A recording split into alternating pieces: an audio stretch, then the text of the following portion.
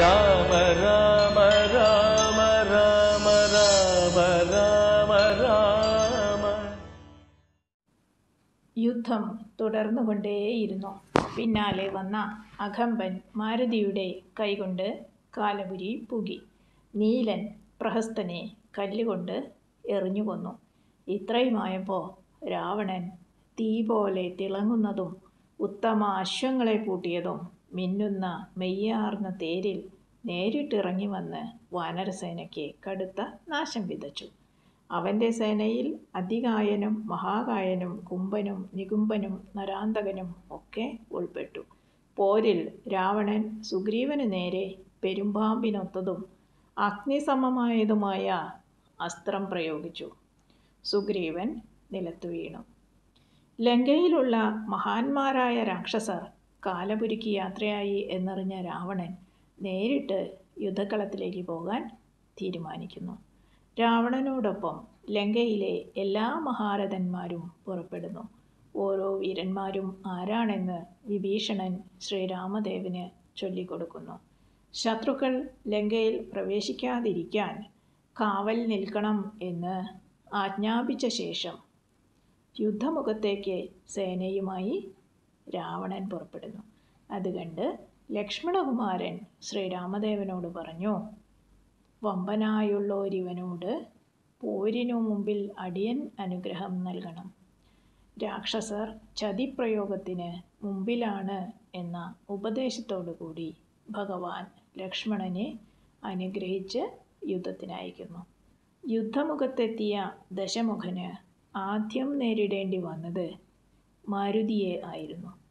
അക്ഷകുമാരനെ കൊന്നത് താനാണെന്ന് സൂചിപ്പിച്ച ഹനുമാൻ സ്വാമി രാവണനെ ആഞ്ഞടിക്കുന്നു. രാവണന്റെ കണ്ണിൽ ഇരുട്ട് കയറി. ബോധം വീണ്ടു കിട്ടിയപ്പോൾ രാവണൻ തിരിച്ചടിച്ചു. ആ സമയത്ത് നീലൻ രാവണന്റെ തലയിലുള്ള പത്ത് കിരീടത്തിലും മാറി മാറി ചവിട്ടി നൃത്തം തുടങ്ങി. നീലന്റെ നൃത്തത്തിന് നാരദന്റെ പാട്ട് അകമ്പടി. യുദ്ധത്തിനിടയിൽ പാട്ടും ഡാൻസും. അതും രാവണന്റെ തലയിൽ ലക്ഷ്മണകുമാരൻ രാവണനുമായി യുദ്ധം തുടങ്ങി. രാവണന്റെ വില്ല് വരെ മുറിച്ചുകൊണ്ടായിരുന്നു കുമാരന്റെ ശരവർഷം. അവസാനം ഗത്യന്തരമില്ലാതെ മയൻ കൊടുത്ത അസ്ത്രം രാവണൻ കുമാരന് നേരെ പ്രയോഗിക്കുകയും ആ വേൽ ഏറ്റ് കുമാരൻ യുദ്ധഭൂമിയിൽ വീഴുകയും ചെയ്യുന്നു. ബോധം മറിഞ്ഞ് താഴെ വീണ കുമാരന്റെ ശരീരം ഉയർത്താനുള്ള രാവണന്റെ ശ്രമങ്ങൾ പരാജയപ്പെടുന്നു. അപ്പോഴാണ് ആരോ പുറകിൽ നിന്ന് തോണ്ടി വിളിക്കുന്നത് പോലെ രാവണന് തോന്നിയത്. തിരിഞ്ഞു നോക്കിയപ്പോൾ ആരാ? ഹനുമാൻ സ്വാമി. മാരുതി കൈ ഉയർത്തി രാവണന്റെ തലയിൽ ആഞ്ഞൊരടി വെച്ചു കൊടുത്തു. അത് മാത്രം മതി രാവണൻ യുദ്ധഭൂമിയിൽ രക്തം ഛർദ്ദിച്ച് വീണു. അപ്പം തന്നെ ബോഹ ബോധരഹിതനായി കിടക്കുന്ന ലക്ഷ്മണകുമാരനെ മാരുതി ശ്രീരാമസന്നിധിയിലെത്തിച്ചു. അനുജന്റെ അവസ്ഥ കണ്ട് കോപിഷ്ടനായ രാമദേവൻ മാരുതിയുടെ കണ്ടത്തിലിരുന്ന് രാവണനുമായി യുദ്ധം ചെയ്യുകയും അമ്പയെ പരാജയപ്പെടുത്തുകയും ചെയ്യുന്നു. ആയുധങ്ങൾ നഷ്ടപ്പെട്ടവനെ യുദ്ധത്തിൽ കൊല്ലുന്നത് ശരിയല്ലാത്തതിനാൽ തിരിച്ച് ലങ്കയിൽ പോയി ആയുധധാരിയായി വരാൻ രാമദേവൻ രാവണനോട് പറഞ്ഞു. രാവണൻ പേടിച്ചുപോയി ഭഗവാന്റെ അമ്പ് പിന്തുടരുന്നുണ്ടോ എന്ന് തിരിഞ്ഞു നോക്കി നോക്കിയാണ് ആ ഭീരു ലങ്കയിലേക്ക് ഓടിപ്പോകുന്നത്. അവൻ ഹനുമാന്റെ നേർക്ക് ശക്തിയുള്ള ബാണം പ്രയോഗിച്ചതോടെ മാരുതി മണ്ണിൽ മുട്ടുകുത്തിപ്പോയി. എന്നാൽ തുടർന്ന് വന്ന് ലക്ഷ്മണനുമായി ഘോര യുദ്ധം തന്നെ തുടർന്നു. തുടർന്ന് രാമനും രംഗത്തെത്തി. രാമബാണങ്ങൾ നേരിടാൻ അവന് കഴിയാതെയായി.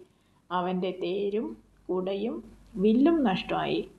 അടുത്ത ബാണത്തിൽ അവന്റെ കിരീടവും നഷ്ടമായി. എന്നാൽ നിരായുധനായ രാവണനെ രാമൻ കൊന്നില്ല. നിരാശനായി മടങ്ങിയ രാവണൻ ഒരു മനുഷ്യനാൽ പരാജയപ്പെട്ട സങ്കടത്തിൽ നടുങ്ങി. ഒടുവിൽ കുംഭകർണനെ അയക്കുവാൻ തീരുമാനിച്ചു. എന്നാൽ അവൻ ആറുമാസം നീണ്ടു നിൽക്കുന്ന ഉറക്കത്തിലേക്ക് പ്രവേശിച്ചിരുന്നു. മെയ്യാകെ ഉയർന്ന രോമമുള്ളവനും പാമ്പിനെ പോലെ ചീറ്റുന്നവനും കൂർക്കം വലി കൊണ്ട് നടുക്കുന്നവനും പാതാളം പോലെ വായുള്ളവനുമായ അവനെ ഉണർത്തുവാനായി ആയിരം ആനകളെ അവന്റെ ദേഹത്ത് കൂടി ഓടിച്ചു. ഒരായിരം പേരികൾ ചുറ്റും നിന്ന് ഒരേ സമയത്ത് പ്രയോഗിച്ചു. ചിലർ അവന്റെ പുറത്ത് കയറി നിന്ന് ചവിട്ടും കുത്തും നടത്തി. അനേകം അസുരന്മാർ പലതരത്തിലുള്ള ഉപായങ്ങൾ പ്രയോഗിച്ച് കുംഭകർണനെ ഒരു വിധത്തിൽ ഉണർത്തിയെടുത്തു. പാടെ അവൻ രണ്ടായിരം കുടം മദ്യവും പലതരം ഭോജ്യങ്ങളും കഴിച്ച് തെല്ലൊരു ഗർവോടെ രാവണ സമക്ഷത്ത് എത്തി. അവനോട് വാനര സൈന്യത്തെ മുച്ചൂടും മുടിക്കാൻ നശിപ്പിക്കാൻ രാവണൻ ആവശ്യപ്പെട്ടു. കുംഭകർണൻ അപ്പോഴും രാവണനോട് സീതാപഹരണം തെറ്റായിപ്പോയ തെറ്റായ കാര്യമായി പോയി എന്ന് പറഞ്ഞു. അത് കേട്ട് രാവണൻ ദേഷ്യപ്പെട്ടു. ഈ സമയം വിഭീഷണൻ കുംഭകർണനെക്കുറിച്ച് രാമനോട് പറഞ്ഞു കൊടുത്തു. ആറുമാസം ഉറങ്ങുകയും പിന്നെ ആറുമാസം ഉണർന്നിരിക്കുകയും ചെയ്യും. വലിയ ശരീരത്തിന് ഉടമ രാവണ സഹോദരൻ. ഇതാണ് കുംഭകർണൻ. ആൾ ഇപ്പോൾ നല്ല ഉറക്കത്തില്ല ഉറക്കം തുടങ്ങിയിട്ട് കുറച്ച് ദിവസങ്ങളേ ആയിട്ടുള്ളൂ. എങ്കിലും കുംഭകർണനെ ഉണർത്താൻ രാവണൻ ഉത്തരവിടുന്നു. പെട്ടെന്ന് ഉണരുന്ന പ്രകൃതമല്ല ആനയെ കൊണ്ട് ചിഹ്നം വിളിപ്പിച്ചു. ചെവിക്ക് സമീപം നൂറ്റൊന്ന് കതിന പൊട്ടിച്ചു. എന്നിട്ടും ഒരു അനക്കവുമില്ല. അവസാനം കുംഭ കുംഭകണക്കെ രക്തവും മദ്യവും കഴിക്കുകയും ആ ഗന്ധമേറ്റ് കുംഭകർണൻ എഴുന്നേൽക്കുകയും ചെയ്യുന്നു. കുംഭകർണന്റെ വരവ് കണ്ട വിഭീഷണൻ അദ്ദേഹത്തെ വണങ്ങുകയും തന്റെ നിസ്സഹായാവസ്ഥ ബോധ്യപ്പെടുത്തുകയും ചെയ്യുന്നു. വിഭീഷണനെ അനുഗ്രഹിച്ചിട്ട് കുംഭകർണൻ യുദ്ധത്തിന് തയ്യാറാകുന്നു. പോരിൽ വൈവസ്വതനെയും വാസവനെയും പരാജയപ്പെടുത്തിയവനും വിശ് വിശ്രവസിന്റെ പുത്രനുമായ കുംഭകർണനോളം വലുപ്പമുള്ള മറ്റു രാക്ഷസരില്ല. ഇവൻ പോരിൽ ദാനവരെയും യക്ഷന്മാരെയും നാഗങ്ങളെയും ഗന്ധർവ കിന്നരന്മാരെയും ഒരായിരം തവണ തോൽപ്പിച്ചിട്ടുണ്ട്. ഇവൻ പ്രകൃത്യാ തന്നെ തേജസ്വിയാണ് ജനിച്ച പാടെ ആ പെരുത്ത ബാലൻ അനേകം ജന്തുക്കളെ പിടിച്ച് തിന്നിട്ടുണ്ട്. ഇവൻ വലുതാകെ പൊറുതിമുട്ടിയ ഇന്ദ്രൻ അവനെ നേരിടാനെത്തി പരാജിതനായി. അവന്റെ അക്രമം വർദ്ധിച്ചു വന്നു അങ്ങനെ ബ്രഹ്മാവ് അവനെ കണ്ടു. അവന്റെ ആകാരം കണ്ട് നടുങ്ങിയ അദ്ദേഹം നീ ഇപ്പോൾ മുതൽ മൃതമായി കിടക്ക് എന്ന് ശപിച്ചു. അത് കണ്ട് രാവണൻ ബ്രഹ്മാവിനോട് അത്രയ്ക്ക് ശാപം പാടില്ല എന്നും ഉറങ്ങാനും ഉണരാനും സമയം നിശ്ചയിക്കാനും അപേക്ഷിച്ചു. അതിൻപടി ബ്രഹ്മാവ് അവൻ ആറുമാസം തുടർച്ചയായി ഉറങ്ങുമെന്നും ഒരു ദിവസം ഉണർന്നിരിക്കുമെന്നും ആ ഒരു നാൾ അവൻ തീ പോലെ ലോകത്തെ വിഴുങ്ങും എന്നും അറിയിച്ചു.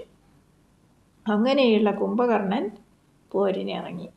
അവൻ വാനരന്മാരെ പിടിച്ചു തിന്നുകൊണ്ട് വാനരസേനയെ അക്ഷരാർത്ഥത്തിൽ തകർത്തു തുടങ്ങി.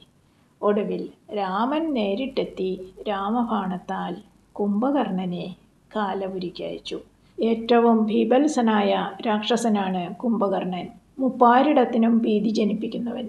പക്ഷേ അവൻ ഒരു കാര്യത്തിൽ രാവണനും മുകളിലാണ്.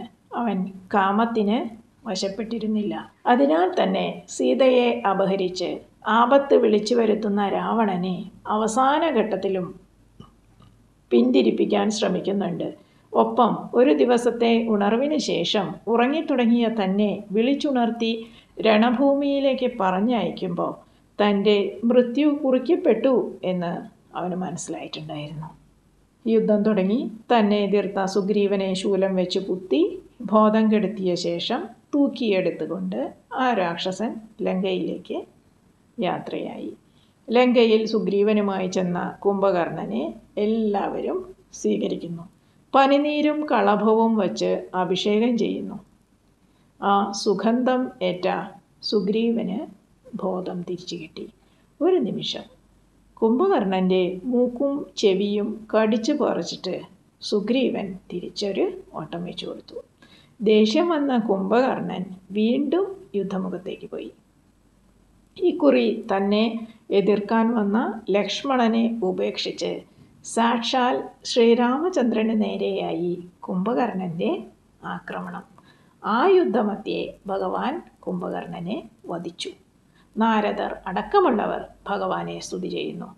ആ മരണവാർത്തയെ അറിഞ്ഞ് അതികായൻ യുദ്ധത്തിന് വന്നെങ്കിലും അവന്റെ ഗതിയും മറ്റൊന്നായിരുന്നില്ല. അതികായനും കൊല്ലപ്പെട്ടു. ഈ വാർത്തയറിഞ്ഞ് ഞെട്ടിയ രാവണനെ ആശ്വസിപ്പിച്ച് യുദ്ധത്തിന് വന്ന ഇന്ദ്രജിത്ത് മറഞ്ഞിരുന്ന് ബ്രഹ്മാസ്ത്രമേത് എല്ലാവരെയും വീഴ്ത്തുന്നു. യുദ്ധഭൂമി ചോരക്കളമായി. രാമലക്ഷ്മണന്മാരടക്കം എല്ലാവരും ചോരയിൽ കുതിർന്ന് വീണു. ദേവന്മാരും മുനിമാരും അക്ഷരാർത്ഥത്തിൽ ഞെട്ടിവിറച്ചു. വിജയശ്രീലാളിതനായി ഇന്ദ്രജിത്ത് ലങ്കയിൽ തിരിച്ച് പ്രവേശിച്ചു. എന്നാൽ ആ ചോരക്കളത്തിൽ എല്ലാവരും മരിച്ചിരുന്നില്ല. ഒരാൾ എഴുന്നേറ്റ് വരുന്നുണ്ട്. അതാരാന്ന് മനസ്സിലായോ? വേറെ ആരുമല്ല ശ്രീരാമഭക്തിയുടെ മൂർത്തിരൂപം ചിരഞ്ജീവിയായിരിക്കും എന്ന് വരം ലഭിച്ച വാനരൻ. അതെ സാക്ഷാൽ ഹനുമാൻ സ്വാമി. അപ്പോൾ ബാക്കി ഭാഗം നാളെ കേൾക്കാം. എല്ലാവരെയും ഭഗവാൻ അനുഗ്രഹിക്കട്ടെ.